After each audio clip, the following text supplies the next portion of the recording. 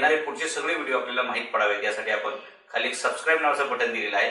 ते सबस्क्राईब नावाचं बटन दाबा. म्हणजे येणारे पुढचे सर्व व्हिडिओ आपल्याला पाहता येतील. असं हे बघा. म्हणून आहे ना मी तुम्हाला प्रश्न विचारायला का संधी दिली? कारण आपल्या लोकांना एकदा चुकीचा इतिहास डोक्यात घुसला तर पुढच्या तीन चार पिढ्या काही करणं अवघड नाही. लक्षात घ्या. नागिन सारखी एवढी मोठी बलाढ्य तोप सह्याद्रीच्या डोंगर कपारीतून पुढे सरकणं अवघड आहे. हा? आणि त्यांनी जे गाव दाखवलं ना का शिरपूर का कुठून ते तो पुढे येते. अरे ते गाव कोकणात आहे. दिल्लीचा रस्ता कुठून येतो? धुळे कुठून जालन्याकडून येतो? आणि ते कुठलं गाव त्यांनी सांगितलं त्याच्यामध्ये? त्या गावातून ते काहीतरी पुढे येतात ते तोप घेऊन.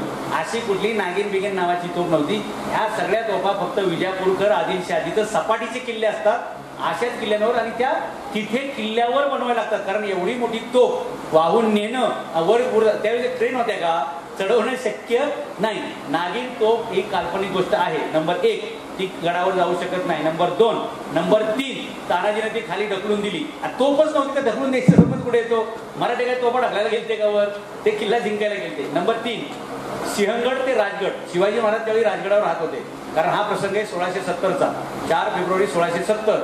शिवाजी महाराज राजगडावर राहायला गेले. कधी? सोळाशे त्र्याहत्तर.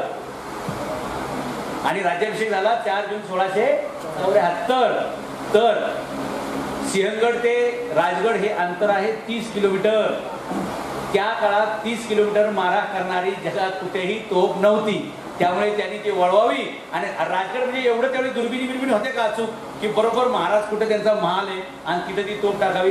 अजिबात शक्य नाही. तो सगळा काल्पनिक प्रसंग आहे. तानाजी मालुसरेचा डावा हात तुटला का उजवा हात तुटला?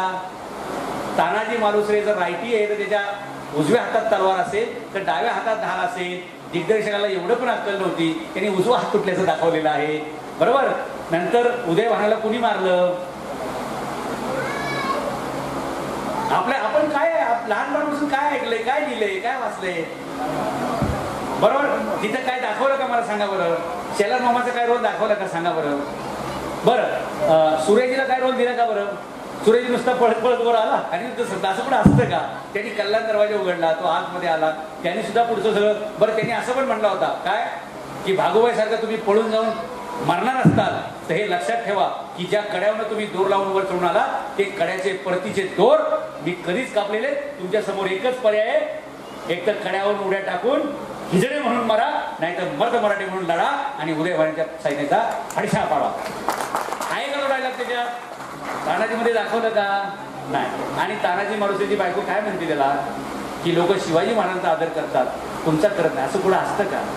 काजलचे दोन मुस्कड घालले पाहिजे कुठं शिवाजी महाराज? तानाजी मावशी असं म्हणू शकतो का आपल्या आयुष्यामध्ये?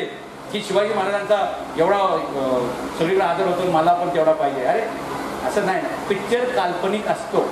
मग त्यात ती गाणी बिणी सगळी दाखवली. असं कुठं असतं का या उमरड गावामध्ये त्यावेळी लोकसंख्या किती? आणि ते कसलं भव्य दिव्य मंदिर दाखवलंय कसलं आरास विरात आता ते त्यांचं सिनेमॅटिक लिबर्टी अशी काही तोप वगैरे काही नव्हती वगैरे वगैरे. ठीक आहे? तर ते डोक्यातून काढून टाका. नागिन नावाची तोप नव्हती.